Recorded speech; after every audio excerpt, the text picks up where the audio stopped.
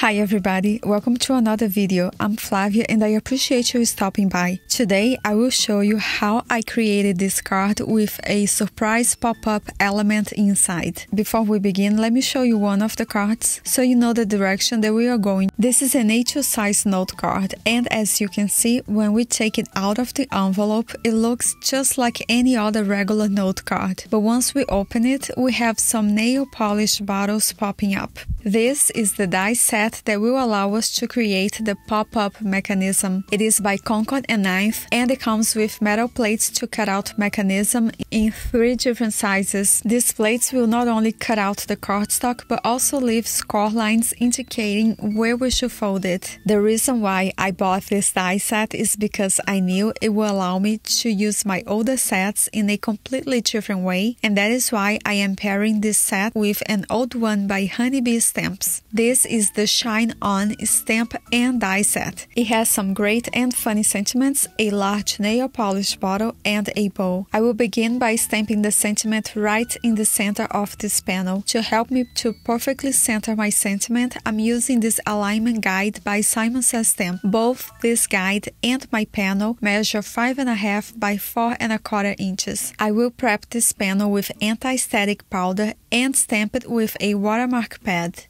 Then I will heat emboss this sentiment with fine silver embossing powder. I kept my stamp on my stamping door so I can stamp it again on the same spot three more times and repeat this process to make this sentiment stand out more. Now I can start stamping some nail polish bottles onto this panel. I will also heat emboss them using that same silver embossing powder. Once I have my nail polish bottle stamp in place, I will again use that watermark pad to stamp it and apply that silver embossing powder. Then I will turn this panel upside upside down and stamp this bottle one more time. Add the embossing powder and heat set these two bottles at once. I will keep on repeating this process until I have the top and bottom of this panel completely covered with nail polish bottles images. I will be alternating between having the nail polish bottle right side up and then upside down just for fun. Always remember to prep your panel with anti-static powder before you stamp it with a watermark pad. That will help keeping the embossing powder from sticking to the areas where we are not planning on heat embossing. The goal is to only have powder over the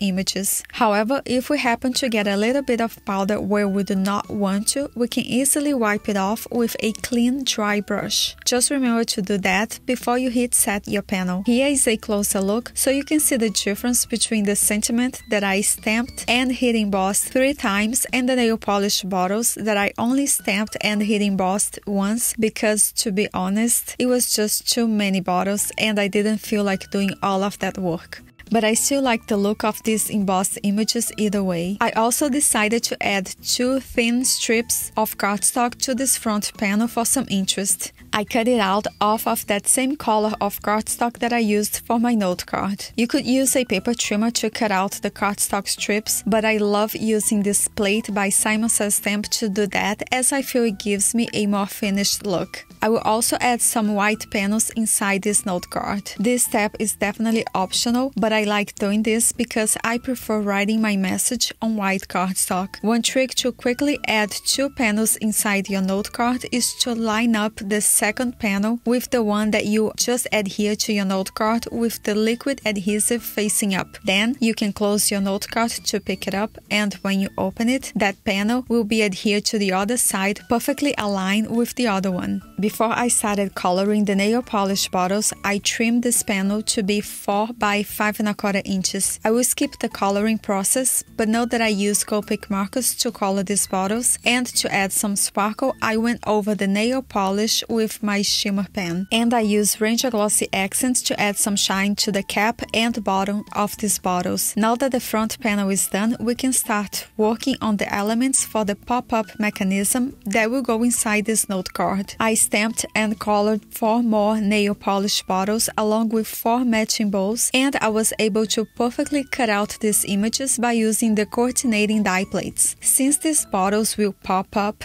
and the recipient will be able to see behind these die cut bottles, I will adhere another die cut nail polish bottle out of white cardstock to hide the ink that bled through in the back. Moving on to the pop-up mechanism, I will be using the largest piece. I will fold this die cut following these lines and add double-sided tape that is 1 quarter inches wide. We could also use liquid adhesive, but since tape is just faster, that's what I chose for this video. So here is how we are going to add this die cut piece. Our goal is to line up this one side of the V shape with the score line in the center of our note card. Because those nail polish bottles are pretty big, I will adhere this pop-up mechanism close to the top of this note card so the bottles do not stick out when this note card is folded flat. I will show you in a minute what I'm talking about. Now that we have this one side of this pop-up mechanism adhered to the note card, we will fold it over, remove the backing off of the adhesive tape from the other side and fold this note card down. Now when we open it, we will have this pop-up base where we can add our die cuts. As I am adding the die cuts to the pop-up base, I am always folding over the note card and making sure nothing sticks out when the note card is closed. Notice that this first die cut bottle that I just added to the pop-up base is sticking out. That is not what we want. So I will quickly remove this die cut and rearrange it so that doesn't happen. We want the pop-up to be a surprise so nothing should be sticking out Plus, it is just not a good look when that happens. Here is a closer look on the final card. I was able to create a matching envelope by adding a strip of cardstock to the flap of the envelope